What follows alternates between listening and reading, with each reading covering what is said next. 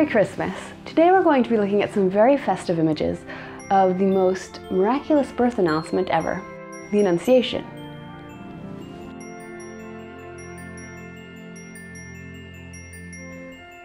But before we dive too deeply into the art, I want to take just a little personal detour to talk about why these images are significant to me.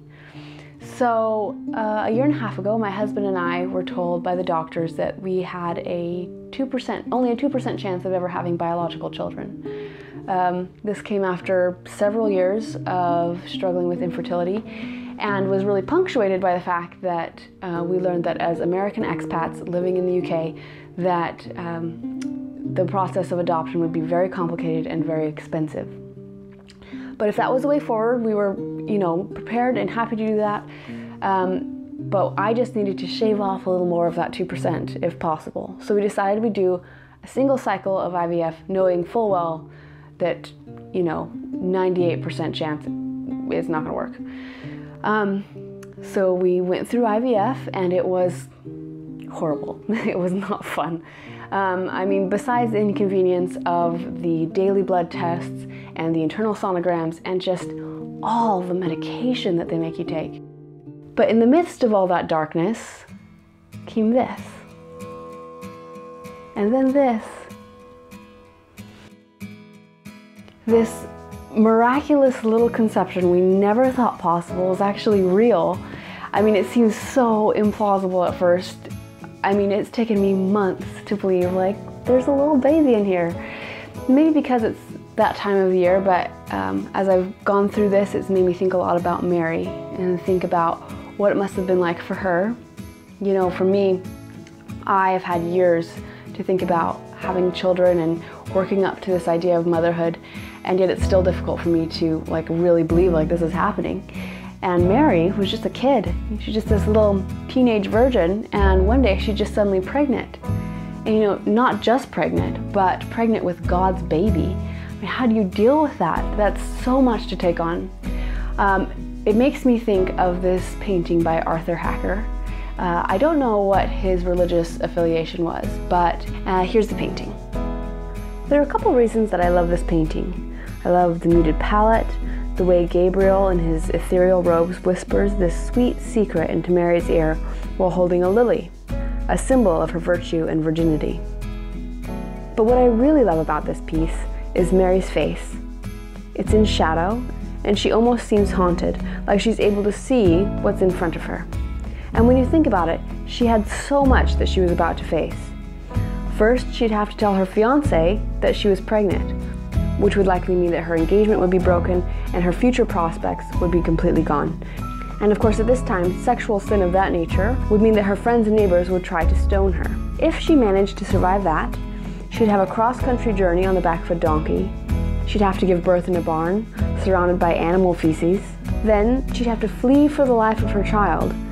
You can imagine how difficult that would be for this young, provincial, probably kind of naive girl to suddenly be in this pagan metropolis of Egypt. So, this expression of fear, resolve, and anticipation on Mary's face in this painting is very much warranted. And yet, there is this grace to the image the juxtaposition of her delicate sweeping robes and youthful posture with this dark expression gives a sort of balance. This centralized focus on Mary and her personal, emotive response to what's going on in this moment is something that really seems to resonate with Mormon artists. Uh, there are several LDS painters that have even completely foregone depicting Gabriel at all and just focus on Mary. We can see this in examples by Connie Lynn Reilly, Dena McMurdie, James Christensen, and Joseph Brickey. Notice this last one again uses Mary's traditional symbol of the lily. In traditional Christian iconography, scenes of the Annunciation are shown with Mary, usually wearing red with a blue mantle, kneeling on the ground in a posture of awe and reverence. And Gabriel is often floating somewhere up above as a sexless winged being whose head is surrounded by a halo. A beam of light, sometimes with a dove, shines down on Mary, symbolizing her conception by the Spirit. The few depictions that we have of the Annunciation from Mormon artists generally tend to forego all of these traditional elements that aren't explicitly laid out in the Bible. For example, here are two relatively well known LDS depictions. The first is by John Scott, the other by Walter Rane. In both of these pieces, extraneous symbolism is gone. There are no lilies to be seen. Scott's Mary keeps the traditional blue, though completely clothes Mary in it, while Rane's Mary is clothed in white. Both have veiled heads. There is no attempt by either artist to conflate Gabriel's announcement with Mary's conception. In both images, Gabriel is a wingless male and surrounded by light, but without a halo. While most Christian theology suggests that angels don't necessarily have a sex, which is why most angels sort of have this vaguely effeminate look to them, Mormon theology has strong feelings on the subject. Mormons see angels as either pre or post mortal beings, which maintain whatever sex they had on earth. In 1839, the church's founder, Joseph Smith, declared that Gabriel was actually Noah of the Old Testament, thereby resolving the question of the angel's gender. But masculinity isn't seen the same by everyone. Annie Henrie Nader's version of the Annunciation has a much more feminized Gabriel. The angel's delicate jaw and slender shoulders certainly make the being more approachable for the young Jewish virgin. One of my favorite depictions by a Mormon artist of the Annunciation was by J. Kirk Richards. In this piece, we see the Spirit bringing the soul of Jesus to Mary's womb. There are several really lovely things about this painting. For one, Richards is obviously well acquainted with traditional Christian painting.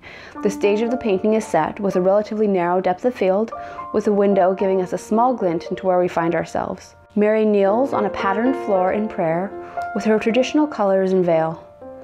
The Spirit carries the infant Jesus, whose head is surrounded by a halo of light, which seems to be the source of nearly all the light in the painting.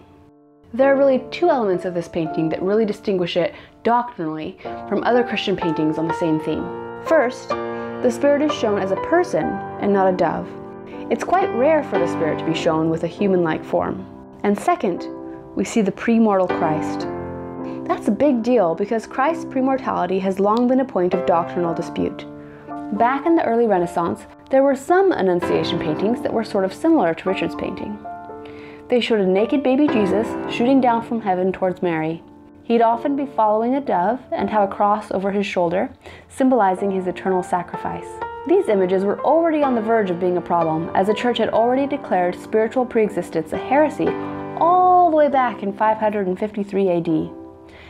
But Jesus' premortality still seemed to be up in the air a little bit, and people kept making these images until finally Pope Benedict XIV put his foot down.